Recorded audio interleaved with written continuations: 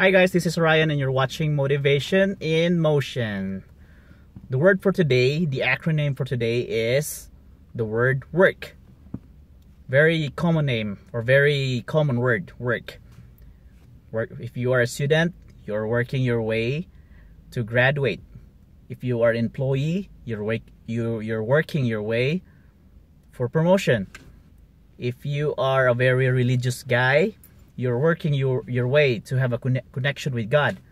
And if you are entrepreneur, you're working your way um, to to um, to establish business or establish clients. So it's a very common use word, work. For me, um, work is very meaningful and powerful because my passion in life is to become someday to become a speaker. So we let's start with W. Work if you desire something in your life, if you are going towards your passion, you have to have the W. What's W? W stands for the willingness.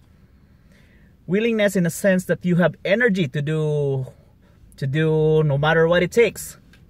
If you wanted to be a speaker or if you wanted someone, then you you work on it or you research on it make yourself expand. So that's the willingness. And then let's proceed to O what's O if we wanted to work our way on a way to our passion and desires. O stands for being optimistic. You cannot work properly or you cannot work diligently if you are not optimistic. Somehow something it some something will will stop you or something will guard you from going forward. Probably it's your thoughts and emotions and your actions. So being optimistic, it will open the door for you. So that's an O. R is reinvent. Reinvent yourself.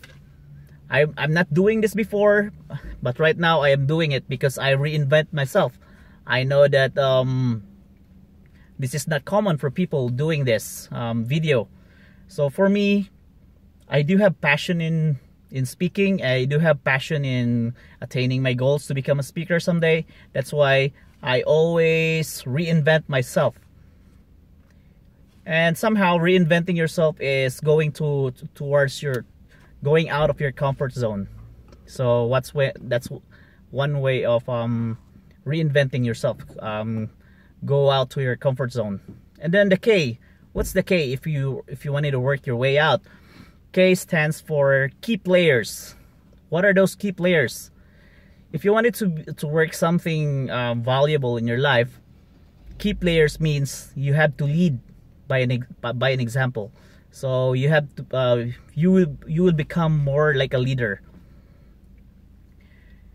somehow um, if you wanted to become a leader you have envisioned something. You you do have a vision in your mind that someday somehow this will this will manifest this will be materialized. So that's the difference between a leader and a common guy or an ordinary guy.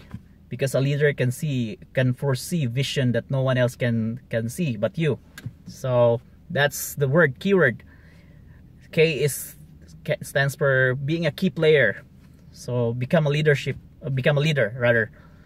So that's it for today and thank you for watching motivation in in, Mo in motion. And by the way this is Ryan. Have a good day